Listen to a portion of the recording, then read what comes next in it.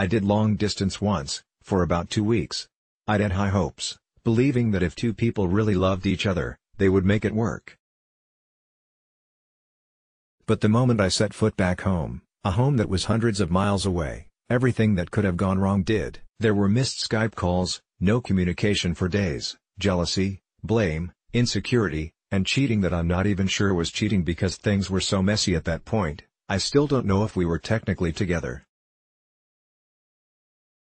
Least to say, I was heartbroken, and for a while, bitter, that long-distance love, rather, love at all, would ever work out the way I always thought it could.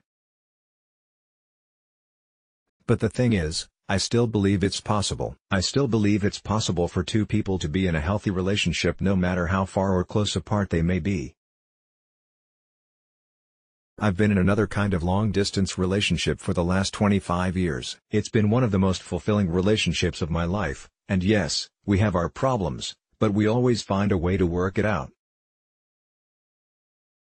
My oldest and closest friend, Phoebe, and I have lived in different cities since we were, well, born. Our mothers were friends in middle school and started getting us together when we were kids. Both of us have moved and lived other places, halfway across the world, only a couple hours apart, and once we did live in the same place for a few months, but otherwise, our relationship has been primarily long distance. So, how have we done it? How have we managed to not grow apart but actually grow closer in the last 25 years of friendship? These are the ingredients we use to make long distance work, and ones that I believe can be applied to any kind of relationship. 1. Respect and understanding above all else. So often in relationships we treat the other person badly by not taking into consideration their life, their feelings, their time, and well-being. We live in such an ego-driven society that it's so easy for us to just not show up to things because we don't feel like it.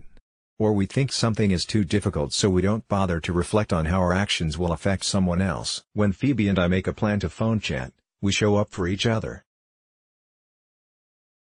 When someone can't be there, or something has come up, we let the other person know. If SHT happens, as it inevitably does, we apologize for leaving the other person hanging and own up to our actions. Even if it's something small, a simple crap, I am so sorry can quickly erase any annoyances on the other person's side. And when they apologize like that, it's also important to learn how to let go. If we held on to those little things, it would only create tension and frustration between us. She apologized, nothing major happened, it's all good. Let it go. By having that care and respect, we eliminate those thoughts that creep up like, maybe she didn't want to chat because she hates me. Or in love, maybe he or she didn't show up because he or she was out partying with that cute person from work and they are smarter than me, funnier, prettier, and they're going to cheat on me with them. 2. Listen. Like, really listen. Some days, I need to call Phoebe and vent to her for an hour about some stupid issue that came up with an ex. On those days, she listens. She lets me talk and she gives her input when I'm finished but mostly she listens and empathizes with me and just lets me get it all out. Other days, she needs to vent. And I let her do the talking. I can't express enough how invaluable it is to have someone in my life who gives me the space to do this. In a relationship, especially a long-distance one, we need the other person to feel like we really care about their life and what's going on in it. Maybe our partner started a new job and her boss, Gerald, has been hard on her case since day one. Maybe you don't particularly care, or you find it hard to follow along because you've never met Gerald and because you have your own things going on, but it is an incredible gift to offer your partner your ear even just for 10, 20, 40 minutes of your day. 3. Independence. Since Phoebe and I have been doing long distance for our entire friendship, of course we have different lives. But with my ex, it was really difficult because I'd been part of his life before I left for home. I knew the places he was going out to, the streets he was walking, who he was walking them with, and I couldn't be part of any of it. I had to recreate my own life back home, and find things that I enjoyed doing irrespective of him. In our relationship, it failed miserably because I was doing what I like to call, unhealthy, codependent independence.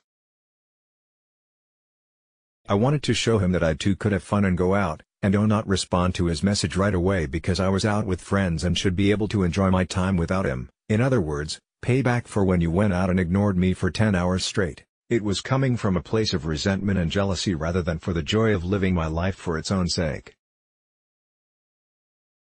In my healthy long-distance relationship, we both have rich lives that we live, and when we talk, we come together to tell the other about it. Or, we are stuck in a rut and things aren't going well, but we don't depend on the other person for our happiness. We relate. We empathize. We give each other advice for how to make things better, and yes, those moments chatting about it does help, but she is not the source of my happiness, and neither am I, hers. We also both have other, close friends in our lives. And I would never want her to not have those people in her life. Which brings me to my next point, 4. We are never, or rather, rarely, jealous. Jealousy is always a hot topic, and I've been on both ends and everything in between it. In my unhealthy, long-distance relationship, there was a lot of jealousy, at least on my end, whether or not it was outwardly expressed. I was jealous of every person who got to be in his life when I couldn't be. I was jealous of his life, that he was out there doing things and I was at home, alone.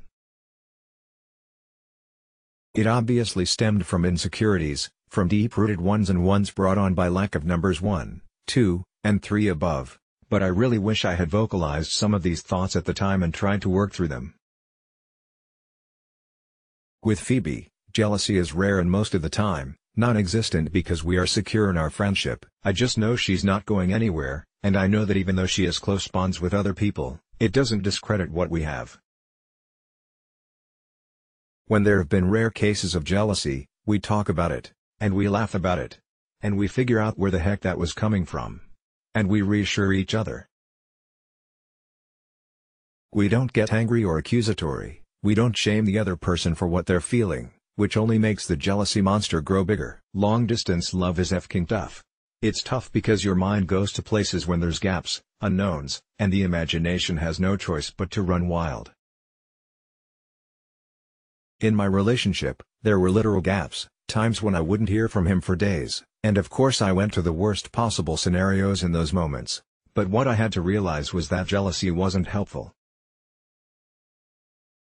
If he was off cheating on me, he was going to do it regardless of how I reacted to him. 5. Real life, regular meetups. With my ex, because the distance was so far and, well, we broke up before we had the chance to explore this, the next time we were going to see each other always seemed so out of reach, I wish, when I'd left, I booked that plane ticket right away as a beacon to hold on to. Instead, there was this abyss of not knowing when the distance would end and when we'd see each other again. With Phoebe, we used to always, without a doubt, see each other at least once a year. We made a plan and we stuck to it. Occasionally, we met up in different parts of the world and got to make these wonderful memories in person, away from our homes, and when we met up, we were excited to explore the other person's life and we always made a point to be present when we were together, because we knew the time together was fleeting. Long-distance relationships are hard. I know that friendship is a little different than romantic ones, but I strongly believe that these ingredients are what make any relationship last. I know when, if ever, I get into another long-distance relationship, I'm going to be terrified that the past will repeat itself, but I also hold on to the hope that it is possible because I have living, breathing proof of another, much stronger one. Tilda let's block ads.